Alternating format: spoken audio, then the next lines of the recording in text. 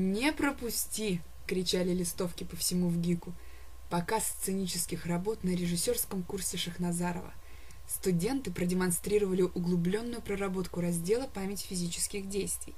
Они курили, ели, спали, думали на ПФД, а также плавали с аквалангом, показывали шаржи, зарисовки, наблюдения и тоже на ПФД. Серьезный системный подход в изучении каждого раздела делает из обычного человека необычного режиссера.